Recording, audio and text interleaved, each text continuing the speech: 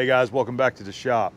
So my stepdad Fernando brought me four hydraulic cylinders off of one of his Kubota tractors over the weekend. He had called me and uh, he was down there working on it and said, hey, I've got four cylinders that are leaking oil. Can I bring these down there? Are you able to reseal them for me? I said, absolutely, bring them down. You know, we've done these before in the past for him. Fernando actually has several uh, uh, tractors and so there's been several cylinders that he has brought to me and and it's uh, most of them have just been a, a, simple reseal job. So I believe that's what uh, we're going to do today. Let me go ahead and show you the four cylinders in question here. These are the four hydraulic cylinders off of his tractor. They appear to be uh, very similar. There are a couple differences. You see the thickness of the rod gland here and then see the thickness of the rod gland there. So I think they're going to be maybe the same. I don't know. I can't tell if they're the same diameter or not. These might be smaller than these right here. But anyway, we're going to get these in the shop, get them all cleaned up. We'll get the grease off of them and we will get these things apart and uh, see about getting some seals ordered. I think that's all it's going to be. I can tell that the rod wipers are deteriorated and I'm and I guarantee you it's going to be the the wiper, the rod seal and the piston seal is probably deteriorated. That's just something that happens with age. These uh, these hydraulics, after a period of years, you just got to go back into them, repack them, put new seals in them, and they'll be good to go. We'll get the bulk of this grease off the end of it, and we'll go down there to the CRC Smart Washer and give the whole thing a bath and get all of the uh, grease and oil off of them. That stuff's been stuck on here for a while. See if we see if the smart washer will clean that off. That's hard cake grease. I didn't I didn't expect it to be a packed in there hard like that, dried up.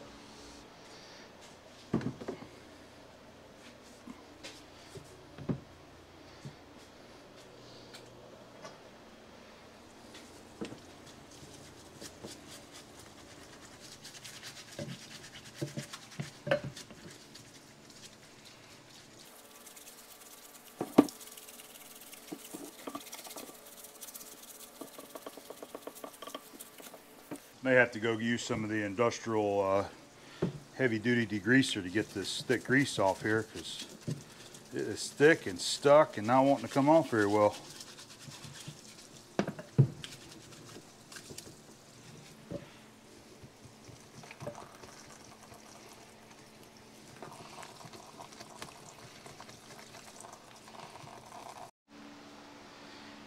Some of these harder lumps of grease that I wasn't able to get off, I'm just using the uh, super degreaser right there and it's been cutting it off. It's working pretty good.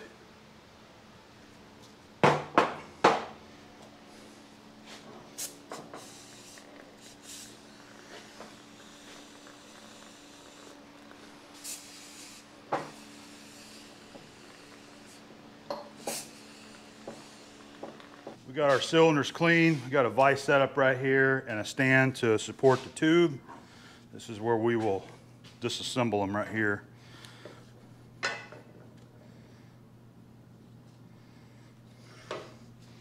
Also have a have a bucket down there. You're always going to need a bucket when you do this because you're going to have a little bit of oil uh, drain out of this tube whenever you pull this piston out. So typically with all of your hydraulic cylinders, you're gonna have some type of rod gland, which is this guy right here. This is the, this screws into the barrel, so these two pieces are threaded. This also holds your, it holds an O-ring that seals the tube from leaking through the, the threads here and coming out there. It also has the seal for the rod inside there, the rod seal and the rod wiper, okay? And this really, the seals inside here are what is wrong and what we need to replace. So we need to get these out. So you can see that there's a drilled hole there. There's also a drilled hole on the other side. So there's a few tools that you should have if you're going to be working on these. And I'll show you. So you have different spanner wrenches. This is called a hook spanner. It's got the hook on the end. This is called a pin spanner. It's got the round pin. All right. These are used on the OD of your part like so. Okay. And then you have a face spanner, which is this guy right here, adjustable face spanner. So this is where this tool is actually goes into these holes here, but you can see this is actually the wrong tool for this application, uh, for this size gland I'm saying. So we're not going to be able to use this one here. Now they do make these in different sizes. I forget what the part numbers are. They're all pretty well universal. And these are pretty inexpensive tools that you can buy. This is Williams. All of mine are the Williams brand. But there's, uh, I, if, I, if I had to guess, they're all probably made by one manufacturer and they stamp a different name on there. But uh, these are really handy tools to have. You can find them used sometimes, but uh, really not that expensive to buy. So they make them in different sizes, different pin sizes for different uh, cylinders. So with saying that, I don't have the proper uh, adjustable face spanner. I'm probably gonna use this pin spanner right here, and we're gonna go ahead and just drill us a very shallow hole. I believe that's uh, for a 3 16 And we'll drill us a very shallow hole in this. Hopefully I won't cut into the, the groove in there where the seal's at and have just enough that we can wrap this thing around it and unscrew it. All right, we're gonna use a 3 16 drill bit. And since I know I've got plenty of meat on this side of the uh, gland, we're going to put it right there. We've got plenty of material between the OD and that ID groove of that uh, wiper right there.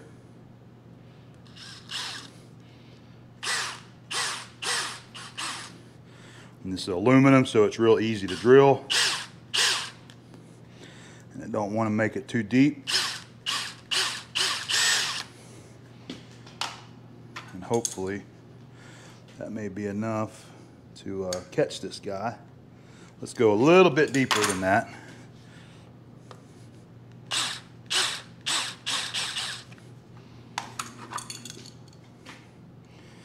Maybe that'll be enough right there. That looks pretty good. Now let's see if I can crack it loose by hand. Look at that, see? Usually I have been getting pretty lucky with these cylinders that Fernando brings and they're not hard to, to get apart.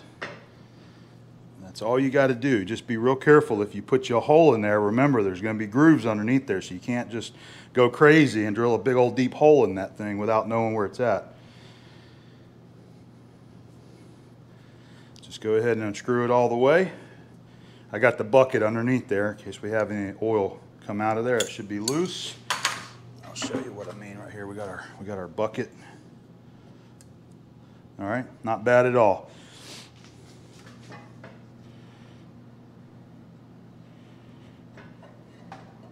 A little bit of oil there. All right. Got one of the uh, PTFE piston seals on that side. Very, very similar to what we've done. I think they're pretty well the same. So there's a, there's a better look at your rod gland. This is the O-ring that I was talking about that seals your barrel. This O-ring just seals moisture from getting down inside there you know, especially a lot of cylinders are made of um, ductile iron or cast iron on this end. So if you don't seal the water from getting down in there, you actually start getting corrosion problems and these threads wanting to lock up. And that's what, that's when it's an aggravation trying to get these things apart. So let's go ahead and uh, we'll just, let's get all four of them apart. Then we'll start getting the pistons off there so that we can get the, the gland. So we'll have to slide it all the way down just like that.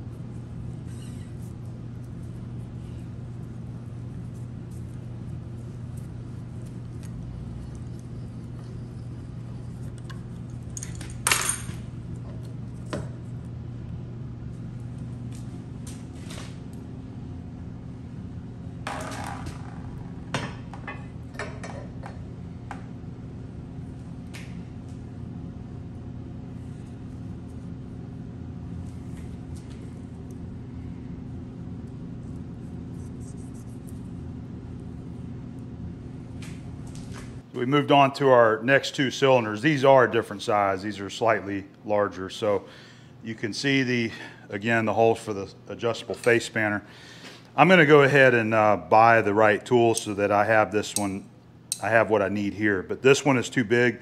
This takes a, these are for a 5 16 hole or 8 millimeter, and these are drilled for quarter inch. Now, I have gone in there before and just opened these up so that you could use this, but these holes are drilled so close to the OD of this that I don't, I'm worried that if I try to drill the hole that it's gonna be cutting in. Probably will still work, but I'm gonna go ahead and just add another hole here to the OD, just like I did, so that we can just use our uh, OD pin spanner to uh, unscrew this. Hopefully, we'll give that a try and see if that works. There's, plenty of metal there to put a 3 16 hole.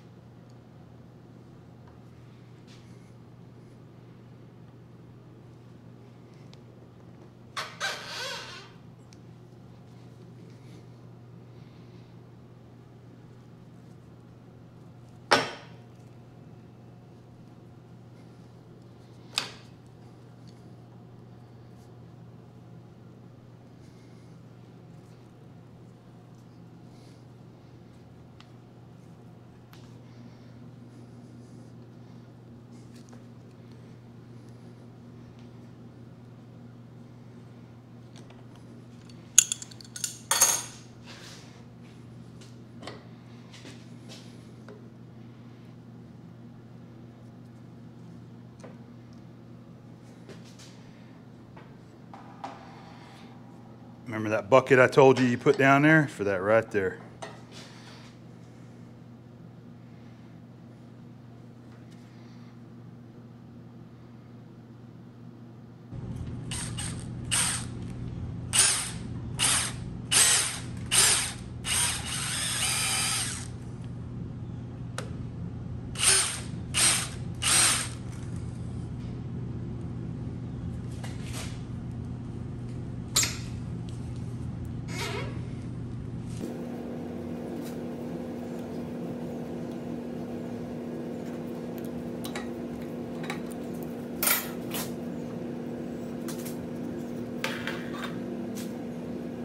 Let's see if we can get the pistons off here. I'm gonna try the uh, DeWalt Impact.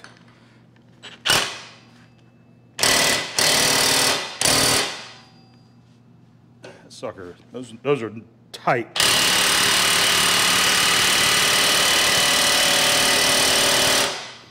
Nope, it ain't gonna do it. All right, I'll get my, we'll have to get a breaker bar out here and uh, bust those things loose because they are on there tight. All right, let's see if I can get it with a little mechanical leverage here. You can use the Armstrong.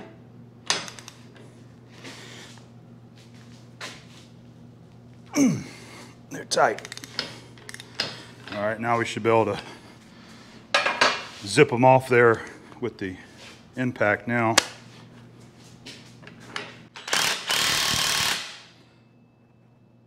Earplug all the way in, hurts my ears. There we go. Oh yeah, use the uh, red Loctite. That's why I couldn't get them loose right there.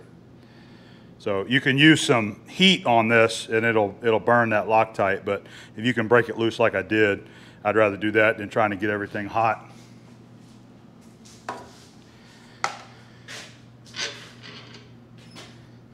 All right, there's your piston.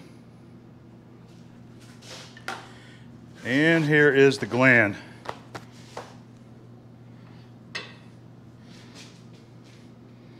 Definitely some uh, bad seals and bad wiper just deteriorating in there.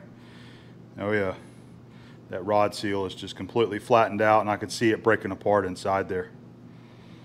O-ring still seems to be fine, but we'll go ahead and replace everything. All right, one down, three more to go.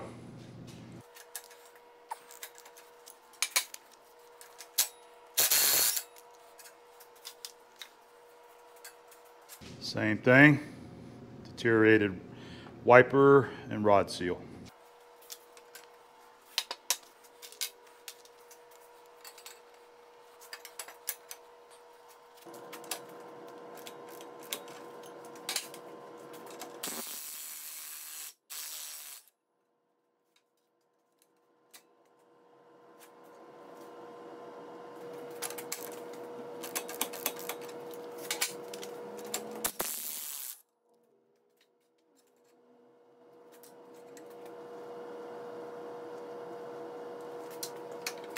So something I've observed as we've gotten these apart, we've have, we have two of these rods here that have some bad spots in the chrome plating. So I'm planning on getting the uh, rod stock there. This is inch and a quarter chrome plated rod.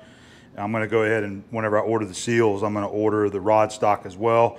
And we'll go ahead and replace these two rods right here. You can see here in the chrome plating, you have some pits.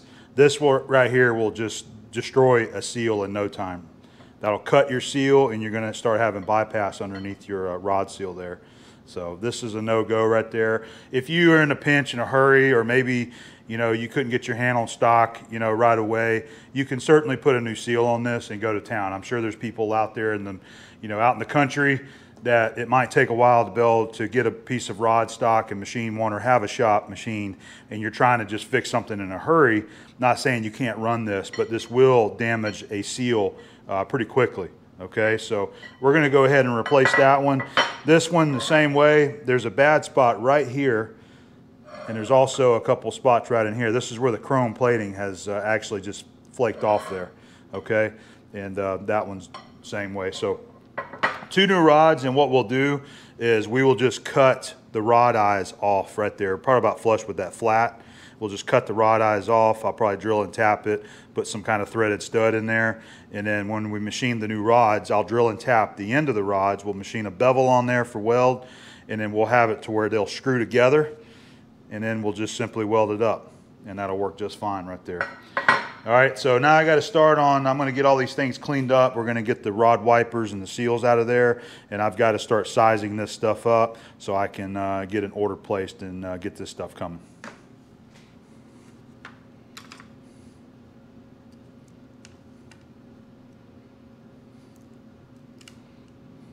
Just nothing left of it.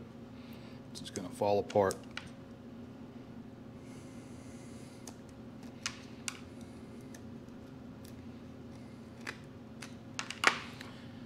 If I can't get one of those wipers out, I'll just have to measure this groove there to see what, what uh, style and size of rod wiper it is. But that's what age does to all of these types of uh, hydraulic seals.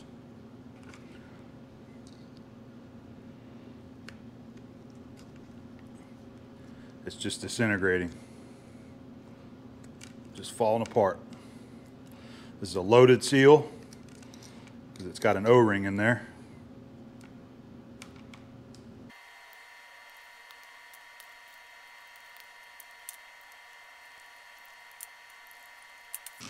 There's your seal and your wiper. All right, we're on our last rod gland here, and it's pretty evident what the what the main problem is. These seals are just completely deteriorated. This is your rod wiper that I'm getting out here.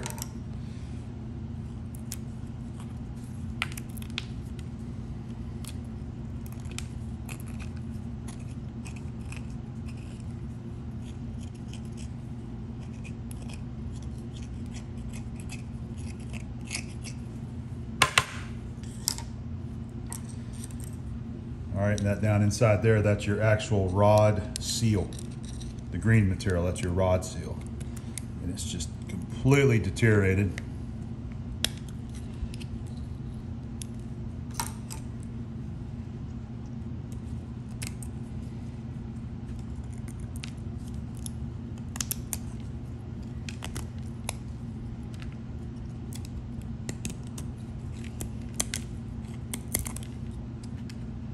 the O-ring goes, that's type of seal that's a loaded seal. It's got that O-ring in there.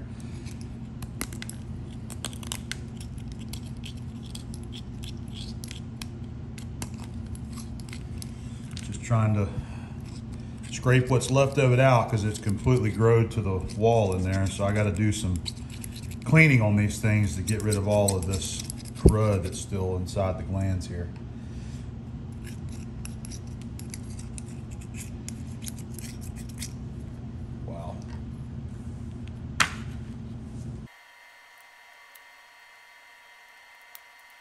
All right, just down to the uh, piston seal right here. These would still be good. I can, I can tell they're good, but there's no point going this far into it and not replacing every seal that's uh, in this hydraulic. So we're just gonna go ahead and remove them. This will damage them getting them off. It's a one-shot deal. Once you put them on there, you're not gonna get them off without kind of cutting into them. But like I said, it ain't no big deal because we're gonna be replacing them anyway. See if I can get underneath it.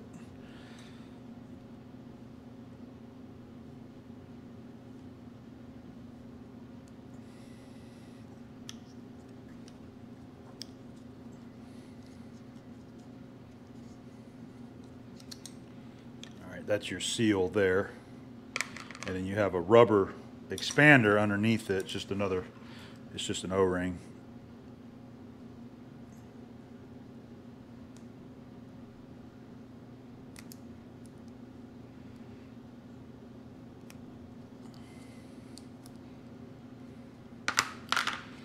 So that is your piston seal right there. The O-ring goes on first and then the, the yellow part goes out on top of it and it compresses. The O-ring keeps it compressed outward so that it's always, it's always compressing against the, the cylinder bore inside the tube there.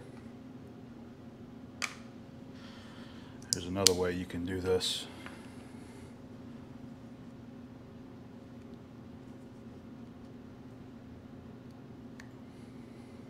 You already know that you're going to replace them. And I'm going to size them up by measuring the groove.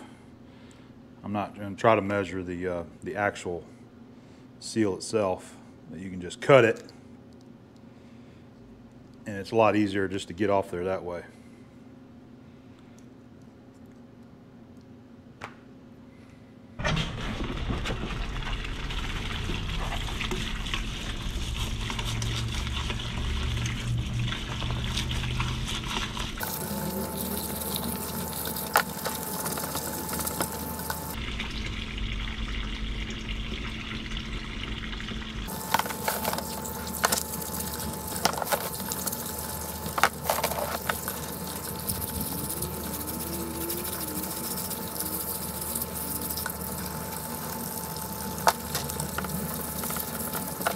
Okay, I've got all of the seals now sized up and I just placed the order with uh, CRC, Cylinder Repair Components. They're over in Robertsdale, Alabama, and uh, they, they supply anything you need to, to manufacture or repair hydraulic cylinders. So all of your soft parts, all of your raw, uh, raw stock, so aluminum, they, they stock chrome plated rod, they um, honed ID tubing, pretty much anything for cylinders, they have it. So I just used my old Hercules hydraulics book here, but the uh, Hercules part numbers and the CRC part numbers are the same. The, the books are literally the same thing.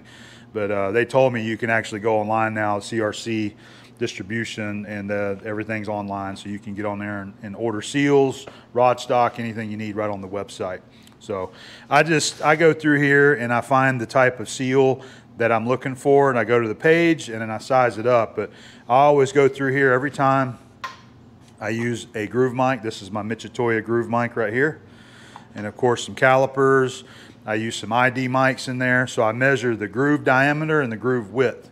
I write that stuff down and then that gives me the dimensions that I need to need to know when I come in here to the book and I find the seal I'm looking for. Then they have it specked out by size. And that's what I do. Once I find the one I need, I write the part number down, and uh, bam, that's it right there. So I don't remember, I don't remember now if I mentioned this or not, but I'm going to be replacing two of these rods. So this one right here has a lot of uh, flaking on it and some rust, and you can feel it feels really rough. So this rod needs to be replaced, and I think it was this one. Yep, this one here. It's got a bad spot right there and a bad spot right there inch and a quarter chrome plated rod stock. So I got two pieces of that cut. That's gonna be coming here as well. So it should be here in one or two days. And once it gets in, I'll start, we'll go ahead and start on the rods and get those built. It'll be a pretty simple job getting it back together.